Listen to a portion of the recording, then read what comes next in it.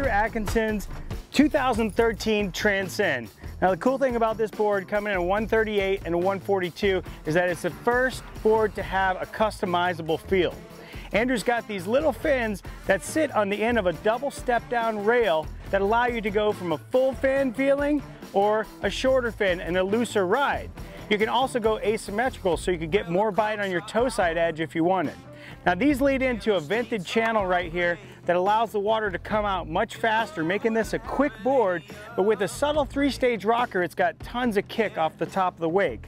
We also run this center spine all the way through because this board's gonna take you way up in the air. The AA boot, that's... But your mother don't pay our bills.